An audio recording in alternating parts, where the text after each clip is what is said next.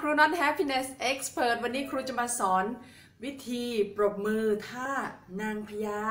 มีเสียงเรียกร้องเยอะมากเลยว่าครูขาทำทีไรแล้วมันมีพลังอะทำทีไรแล้วหนูรู้สึกได้พลังทุกทีเลย ครูจะมาสอนพวกคุณนะคะ เมื่อไหร่ที่ท้อใจ หมดหวัง หมดพลัง นึกถึงท่านี้ นึกถึงหน้าครู เอาท่านี้ไปใช้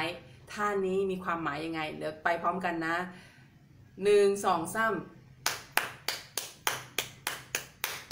ให้เรายิ้มที่มุมปากนิดๆ ตาของเราเชิดนิดนึง เห็นไหมคะ แบบนี้นะคะ แสดงความยินดี แล้วมันแปลว่าอะไรคะครู ท่าเนี้ย แล้วพวกคุณลองทำสิ พวกคุณรู้สึกถึงความภาคภูมิใจในตัวเองเหลือเกิน แล้วพวกคุณก็ภูมิใจกับคนที่อยู่ตรงหน้า คนที่คุณปรบมือให้อะ โอเคมา ลองดูสิ รือจะยิ้มนิดนึงก็ได้หัวเราะเลยได้ค่ะ แต่อย่าลืม คุณจะยินดีอะไรก็แล้วแต่